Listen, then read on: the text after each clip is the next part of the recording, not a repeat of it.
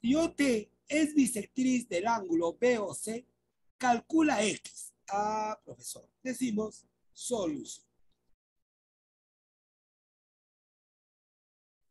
En esta manera, profesor, que quede claro que el ángulo alfa ya es un número para nosotros, ya no es una variable.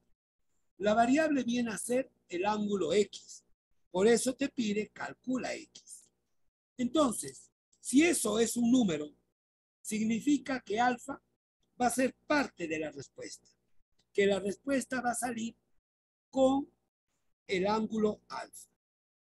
Entonces, profesor, acá ponemos que el ángulo X está yendo en forma horaria, por lo tanto, él es negativo.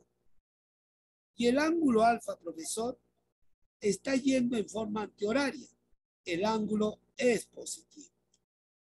Ahora, si nos dice, profesor, que OT es bisectriz de B o C, entonces este ángulo de acá, este ángulo de acá, que ya no lo pongo en una dirección, sino como geométricamente nada más, sería la mitad. Alfa medio. Pero como ya es positivo, él ya sale positivo. Entonces, profesor, acá yo digo, este menos X sumado con alfa medios debe dar, bajo la geometría, 180 grados. Y diríamos, por lo tanto, X, que es negativo, más alfa medios, que va en forma antihoraria, será igual a 180 grados. Él pasa a restar. Y estaríamos diciendo, profesor, acá, que X es igual a alfa medios menos 180 grados.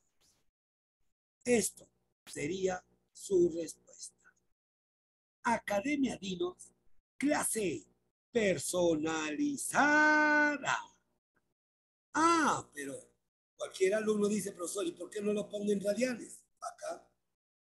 Y medios menos pi es igual. 180 sexagesimal vale pi.